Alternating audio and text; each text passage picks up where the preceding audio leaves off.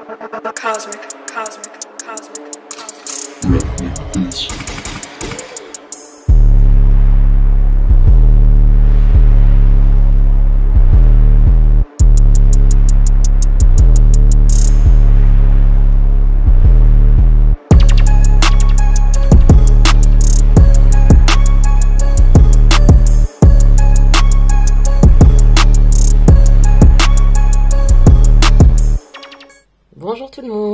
Suis ravie de vous retrouver aujourd'hui dans cette vidéo qui m'a été demandée à de nombreuses reprises par plusieurs d'entre vous. Merci beaucoup pour cette suggestion. Je vais sans plus attendre tirer des cartes pour Mike Brandt afin de voir si nous pouvons avoir quelques éclaircissements quant euh, aux derniers instants de ce monsieur. Alors je ne suis pas tellement, euh, je n'ai pas été bercée par cette culture musicale, je dirais. Et j'ai très peu de connaissances concernant cet artiste, euh, notamment autour de sa vie. Je crois qu'il s'est suicidé, si je ne m'abuse, dans des circonstances, semble-t-il, un peu troubles de mémoire. Donc on va voir avec le jeu de haut, d'ores et déjà, ce qu'on peut avoir comme précision quant euh, à la dernière journée de vie de Mike Brandt, savoir dans quel état d'esprit il se trouvait à ce moment-là. Merci encore pour toutes les suggestions que je reçois. N'hésitez pas à me faire part de...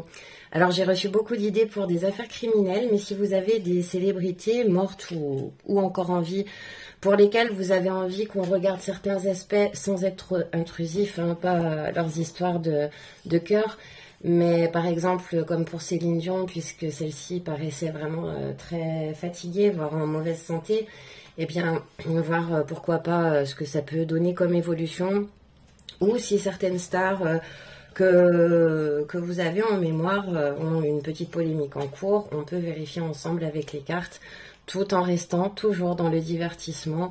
J'ai reçu, alors excusez-moi du terme, je ne vais pas pouvoir le redire sur YouTube parce que c'est très impoli, mais pour résumer, on m'a dit tais-toi sorcière de manière impolie en commentaire. Euh, si j'étais une sorcière, peut-être que je tenterais de vous jeter un sort. Alors à ce moment-là, si vous êtes si, euh, si euh, mal élevé.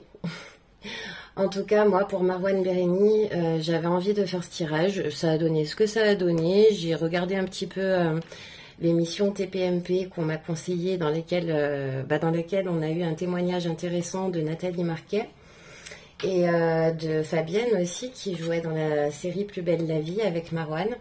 On sait notamment qu'ils se sont rendus euh, à Manille, ce qui est une destination étonnante, et qu'il s'est disputé euh, a priori avec sa meilleure amie sur place. Alors je ne sais pas, moi j'avais cette notion de bébé euh, qui m'a beaucoup marqué. Le reste, je me souviens plus vraiment de tête, mais en tout cas j'avais une notion de paternité imposée ou de contrariété. Alors est-ce que là-bas il y aurait une dispute à ce sujet? Je ne sais pas, mais en tout cas, j'ai trouvé que c'était très intéressant et, euh, Nathalie euh, a bien expliqué les choses, donc euh, c'était c'était super à suivre et je remercie la personne. Bah, je crois que c'est Monique qui m'a dit hier de, regarder le replay de TPMP à ce sujet. J'ai été voir également sur Twitter et j'ai constaté qu'il y avait plusieurs extraits de, de l'émission. Alors, pour Mike Brandt, les énergies autour de lui lors de sa dernière journée parmi nous sur cette terre. C'est parti, sans plus attendre, nous retournons les cartes. Alors ce que je vous propose de procéder peut-être un peu différemment, je vais tenter en tout cas de voir si ça vous convient pour aller un peu plus vite pour certains qui, euh, qui n'aiment pas les tirages très très... Très très long. Donc là, je retourne l'ensemble des cartes et puis on va les regarder ensemble dans un second temps. Faut gagner un petit peu quelques minutes qui peuvent être précieuses effectivement. Alors, euh, moi j'ai une sensation avec ce monsieur d'un euh, je pense qu'il y avait des consommations de drogue. Hein. Euh, je ne vais pas passer par quatre chemins. J'ai un étourdissement qui est relativement fort. Je sens en moi quelque chose qui est euh, un peu trouble. Donc c'est comme si j'avais un peu pris un médicament, quelque chose qui me mette dans un état un peu second. Là pour moi je bataille. Hein. J'ai été me faire faire les ongles. Ça facilite pas. Alors du coup, là, on est face à quelqu'un qui était vraiment déprimé. Les cartes confirment cette sensation un petit peu d'enfermement. voilà. Pour moi, c'est quelqu'un qui, euh, malgré son entourage, hein, parce qu'il devait être entouré amicalement et puis euh, certainement par des, agents, c'est quelqu'un qui se sentait extrêmement seul. Euh, il n'arrivait pas à avoir le moral. C'est quelqu'un qui essayait de cacher, qui essayait de, de faire l'autruche avec des problèmes quand même qu'il avait qui étaient importants. Il avait des gros problèmes autour de lui. Et c'est quelqu'un, vous voyez ici, qui a enterré les choses, mais qui euh, s'est fait du mal. Hein. Il ne savait pas aimer. C'est quelqu'un, semble-t-il, qui était un peu, euh, alors je ne vais pas dire masochiste, mais quelqu'un qui, à mon avis, était victime peut-être d'une éducation dure, dans laquelle on ne lui a pas montré qu'il méritait d'être aimé. Il s'est beaucoup saboté, en fait. Hein. Il avait du mal à s'aimer lui-même et donc à recevoir vraiment des autres. Nous avons en dernière carte ici le devoir avec un agenda, un emploi du temps, une question donc de régularité d'emploi du temps, de précision. Pour moi, ici, il savait que le temps lui était compté.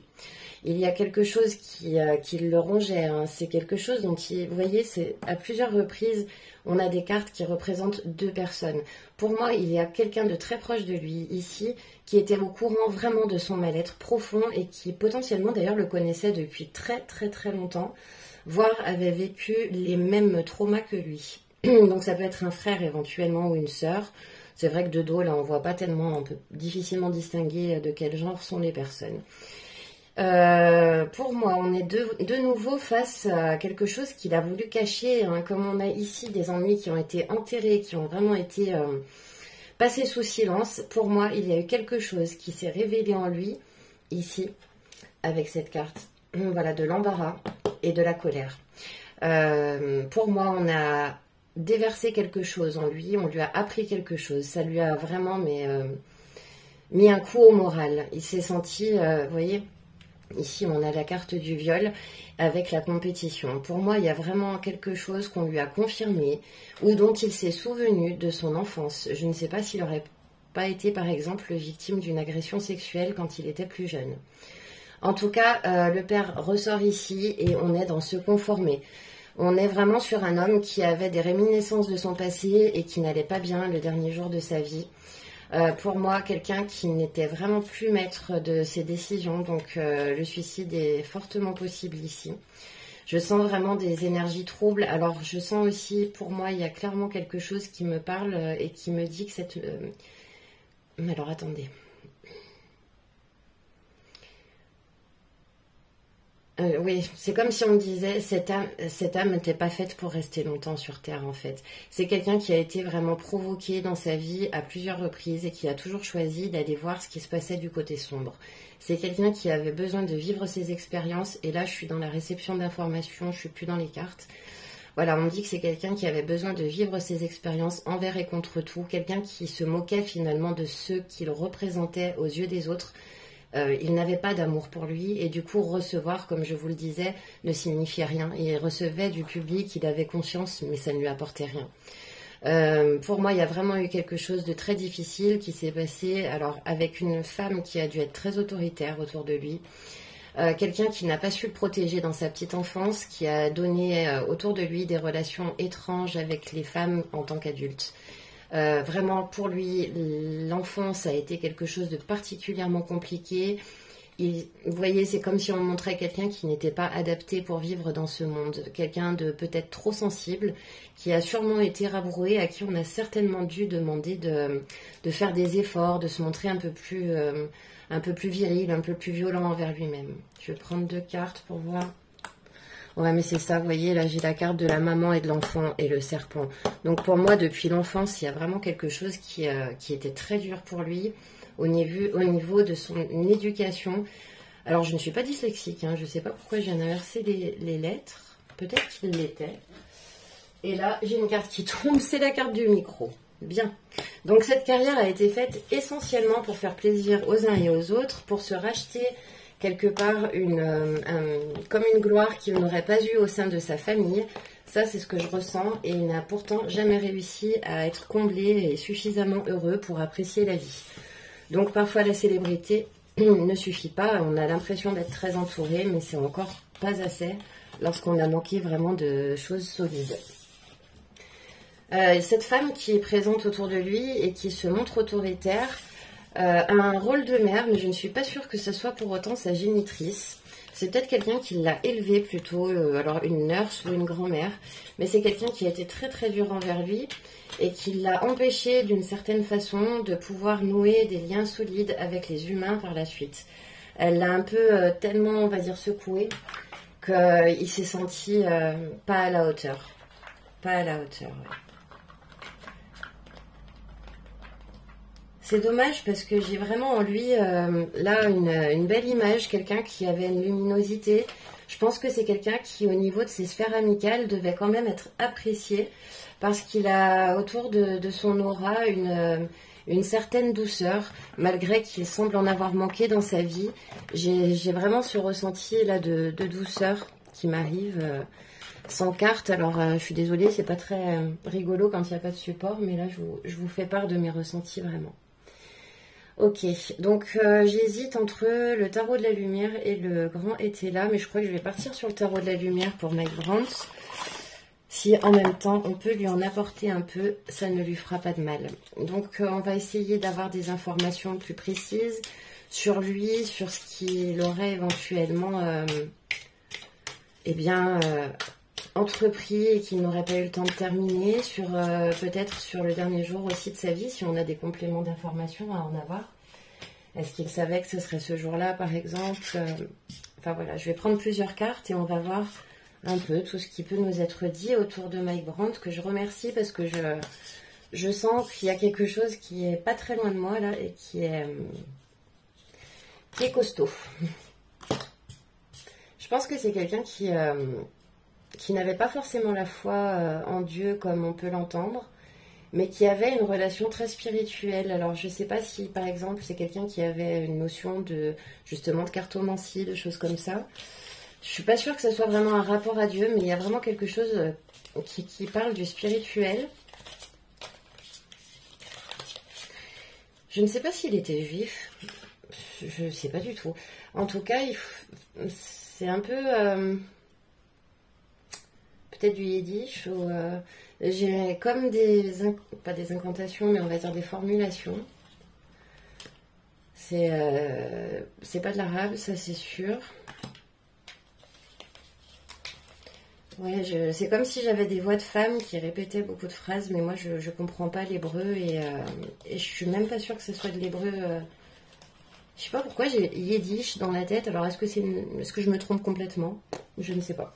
Je connais pas assez la culture euh, et la religion euh, juive pour ça. Si vous avez des informations, n'hésitez pas à me les communiquer. C'est toujours hyper intéressant. Donc euh, bah écoutez, là je l'ai senti comme ça. Donc j'ai pris ces cartes là. Donc ici on est sur le 8 d'épée. Alors vous voyez ici la représentation déjà sur cette carte, on nous parle vraiment de quelqu'un qui est connecté, comme je vous disais. Pour moi, il a une dimension euh, vraiment spirituelle qui est relativement forte et qui permet qu'aujourd'hui, le tirage me complète vraiment bien mes ressentis. Donc ce 8 ici nous apprend que c'est quelqu'un qui pouvait donc avoir vraiment euh, euh, effectivement une notion de troisième œil, des pressentiments, des choses comme ça mais qu'il ne se faisait pas confiance là-dessus. Il s'est bloqué et en fait, comme il manquait beaucoup d'estime de lui, vous voyez, le visage est tourné vers le bas, il n'a pas su faire confiance à ses instincts qui pourtant étaient les bons. Donc il avait quand même euh, ce manque vraiment de confiance qui euh, était déjà là, sous-jacent depuis déjà un moment. Alors, la mort avec l'as de denier, le 9 d'épée, Ouais, le 10 de coupe renversé et puis le valet d'épée et le roi de coupe renversé. On est bien dans des cartes euh, qui sont euh, un petit peu pessimistes, un petit peu négatives. C'est vrai que je pense qu'il était vraiment dans un gros marasme personnel et qu'il n'en a pas vu le bout du tunnel euh, comme, j'ai envie de le formuler ici. Ça parlera sûrement à quelqu'un. Je ne sais pas pourquoi j'ai dit ça. Alors la carte de la mort, bien comme je le dis toujours, c'était un stade euh, vraiment de métamorphose, de gros changements et dans son cas de dépression, un mouvement d'humeur qu'il n'avait pas forcément euh, vu venir. Il, avait certainement une tendance quand même euh, avec les stupéfiants, avec l'alcool, avec quelque chose comme ça, à vouloir cacher son chagrin. Mais il n'imaginait pas se sentir aussi mal. Il a été débordé par une grosse émotion négative, un vrai sentiment d'angoisse. On parle aussi d'un grand détachement ici et euh, d'une personne qui avait perdu quelque chose d'important pour lui. Je ne sais pas si dans ses proches quelqu'un était parti récemment, mais il a eu l'impression en tout cas d'avoir perdu quelqu'un dans sa vie à ce moment-là, qu'il n'arriverait pas à récupérer. Après, c'est suivi donc par l'as de denier à l'endroit, et cet as de denier qui est présenté ici nous parle d'un nouveau projet, d'un espèce de cadeau qu'il aurait pu recevoir. Mais vous voyez ici, c'est entouré de la mort et du neuf d'épée renversé. Alors ce cadeau ici n'en était pas un, puisque c'est la fin d'une période d'anxiété et, peut-être un apaisement, mais en réalité on sait comment euh, eh bien, il a trouvé la paix. Donc ce n'était pas, c'était un cadeau empoisonné. Lui, sa façon de trouver la paix, ça a été de, faire ce choix. Euh, il semble vraiment qu'il n'y ait rien de plus mystérieux autour de ça. Le 10 de coupe arrive à l'envers et on nous parle vraiment de nouveau ici d'un gros manque d'harmonie dans le foyer et de grosses querelles euh, dans le plan personnel. Donc amis, proches, euh, compagnes, il y avait des grosses tensions autour de lui. Mais je pense que son état second, un petit peu comme ça, ne facilitait pas les conversations. Hein. Je pense que les gens autour de lui n'arrivaient plus à lui parler. Le valet d'épée retourné nous parle de son impatience et puis de sa superficialité. Pardon.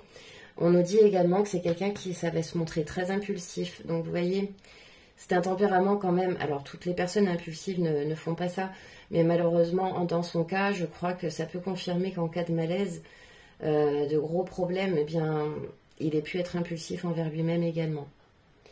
Le roi de coupe retourné ici nous dit qu'il avait une sensation d'être manipulé. Euh, il était dans une constante instabilité émotionnelle. C'est quelqu'un qui était obligé de se montrer égoïste parce qu'il ne savait plus à qui il pouvait euh, vraiment faire confiance autour de lui. Ah, aïe. Le cavalier de bâton bah, nous parle de sa détermination et d'un charisme en fait. On nous dit ici qu'il était dans la prise de risque, c'était quelqu'un qui aimait avoir des passions.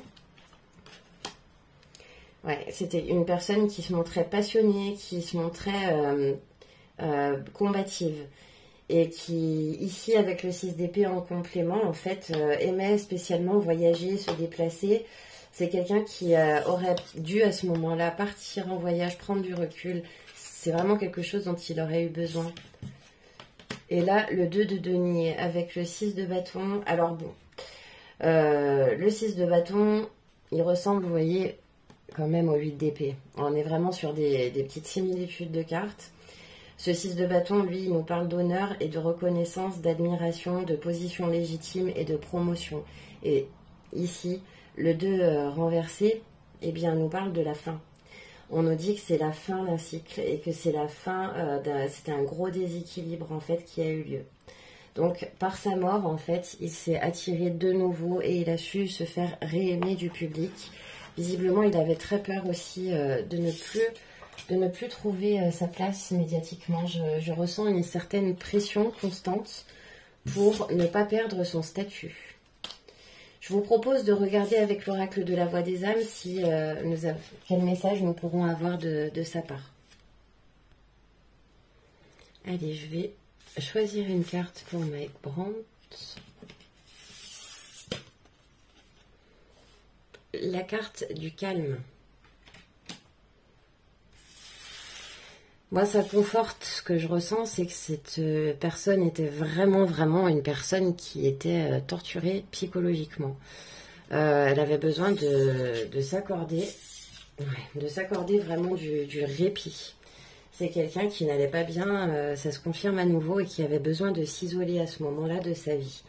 Donc on va regarder au niveau de l'entité ce message qui nous est, qui nous est destiné par rapport à Mike Brandt. Donc cette carte euh, du calme nous dit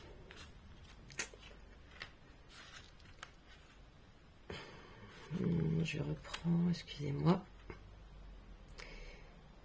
J'avais besoin de calme, j'avais besoin de moments de silence. J'avais besoin de moments d'harmonie intérieure. Ce n'est pas à travers les autres que je pouvais ressentir ce dont j'avais besoin. J'aurais dû être en contact avec moi.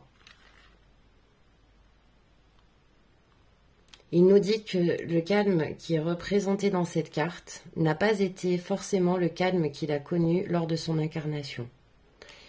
Il nous dit qu'il y avait beaucoup trop de bruit à l'extérieur de lui. Je n'avais pas l'habitude de m'écouter et cela m'aurait aidé à comprendre que toutes les réponses étaient en moi. Je laissais beaucoup trop les paroles des autres prendre le pouvoir sur les miennes et sur mes pensées. Il nous conseille de nous écouter. C'est en prenant quelques instants dans un endroit caché de tous, dans notre repère, dans notre refuge, que nous allons pouvoir avoir les réponses dont nous avons besoin. Donc il nous dit bien ici ce que je viens d'avoir précédemment comme message, effectivement, qu'il n'a pas su euh, de son vivant bénéficier de ce calme dont il avait tant besoin. Je vais peut-être prendre une dernière carte pour lui avec ce jeu. La carte de la soumission. Ça ne m'étonne pas. Hein. Les stupéfiants font partie des choses qui soumettent une personne. Hein. Et pour moi, il était soumis euh, et à sa maison de disque, je pense, en tout cas à un agent ou à quelque chose comme ça qui... Euh, ne lui voulait vraiment pas de bien. Et aux produits stupéfiants, ça, je, crois que c'est indéniable. Alors ici, il nous dit, je n'ai pas réussi à m'affirmer et je n'ai pas réussi à dire non, stop ou ce n'est pas ce que je souhaite. J'ai eu alors pendant très longtemps comme un goût amer. Je pensais ne pas avoir la possibilité de stopper ces schémas relationnels et de fonctionnement dans lesquels j'étais. Je pensais aussi que les autres savaient mieux que moi. Alors j'écoutais et je m'exécutais. Ce n'était pas juste pour moi, mais je me suis pardonné. Je ne souhaite plus reproduire ce même schéma et je vous invite à en faire de même. Les autres ne vous connaissent pas, car vous ne vous montrez pas tel que vous êtes. Les autres ne vous comprennent pas, car vous ne parlez pas de votre cadre de référence. Je comprends tellement ce que vous ressentez à l'instant, et pourtant ce goût de liberté est un si beau cadeau de la vie. Alors pour vous et pour moi, libérez-vous. Nos chaînes sont mentales. Nous avons toutes les possibilités pour s'en libérer et pour créer ce que nous souhaitons à notre image.